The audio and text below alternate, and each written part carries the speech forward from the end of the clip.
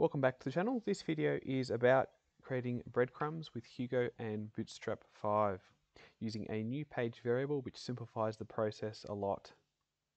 To get started with this video you'll need the latest version of Hugo and Visual Studio Code installed and set up. I've got a link above for my Hugo installation video if you need help. After watching this video you'll be able to use the ancestors page variable to access high level pages You'll be able to iterate using range and you'll be able to create a Bootstrap breadcrumbs template for a Hugo project. I've left a link below to the following Bootstrap repository where I've created a simple Bootstrap template to get you started. The easiest way to get a copy of this is click on the code button and then download a zip file. Alternatively, if you're experienced with Git, you could use GitHub Desktop or manually clone it with the CLI. Before we start, a quick message from this video's sponsor. As a Skillshare teacher, I've partnered up with them to offer you a free one-month trial using my link below. I personally produce full-length Hugo courses on Skillshare on a variety of topics, and there are also many other great teachers on Skillshare who are ready to help you level up your skills for your next big project. Click on the link below for the free one-month trial. You can cancel at any time. Once you've got the project open in Visual Studio Code, we're going to go into the Layouts folder and then partials and we're going to create a new partial called breadcrumbs. And then we're going to go into the baseof.html and underneath header we're going to place in the breadcrumbs partial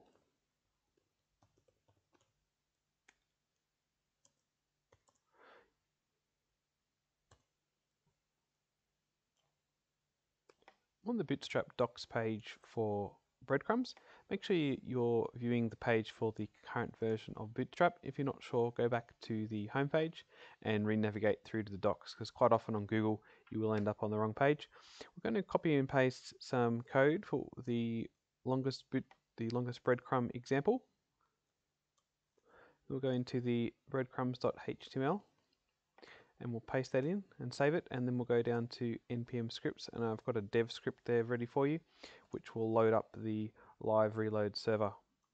The first thing we'll do is we'll add a bit of padding to the left of the breadcrumbs to line them up with the navbar and then we'll go about the logic to generate them automatically. So we'll go into the breadcrumbs.html partial and in the ordered list we'll have the class of ms for margin start and we'll set that to 3. And now I've got some space before our breadcrumbs so they're not touching the edge of the screen. I've provided a link to the Hugo Docs page variables page in the description. And if you go down to ancestors it tells us that we can get the ancestors of each page. That's all of the high level pages as we go back through the URL so example right now we're on page but the ancestors would be variables and then the home page. And there's also an example of how we can implement it However, this example will not work exactly for what we're trying to do. What we can do is we can copy and paste the range section and then above the current page, we're not going to touch the current page. It's generated automatically. So we'll paste that in. We'll just format it. You're probably wondering, what does range mean if you're new to Hugo? And range is for looping or iterating. We're going to be looping over the ancestors, that's the pages that are higher than the current page, and we've got dot reverse there to reverse the order so that it appears in the order that we need for our breadcrumbs. And then we have to get our bootstrap code.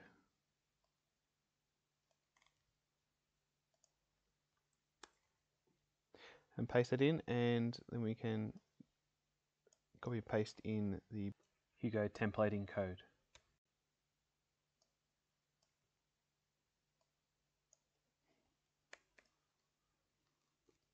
And then for the current page, we need to put in the title of it. Copy and paste in title because that also relates to the current page. Then we can delete the two extra ones we've got. And we'll save that and we'll have a look in the browser. So we've got a breadcrumb showing up on home, which I personally don't like. But if we go one level deeper to about, you'll see that we've got the link back to the home page and we've got the current page. What we'll do now is we'll put in some logic so it isn't displayed on the home page. So what we'll do is above the breadcrumbs, we'll put if not dot is with capital I and home with a capital H. Then we'll put an end tag in below that and that will not display the text inside those two tags if it's on the home page. So now we've got no breadcrumbs displaying on the home page and they're coming up when we go deeper. If you want to do any modifications to it, I don't recommend changing the classes.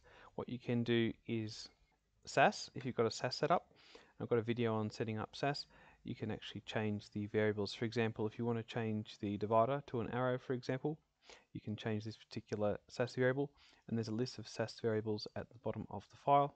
It's a really quick way to modify your Bootstrap website without changing any of your CSS around. So that's it for the video. I've left a link for the files in this tutorial and also the links to the web doc pages in the description below. If you liked it, remember to hit the thumbs up button and if you have any questions or comments, please leave them in the comments section below. Please remember to subscribe to the channel and hit the bell notification button to be notified of my regular coding tutorials.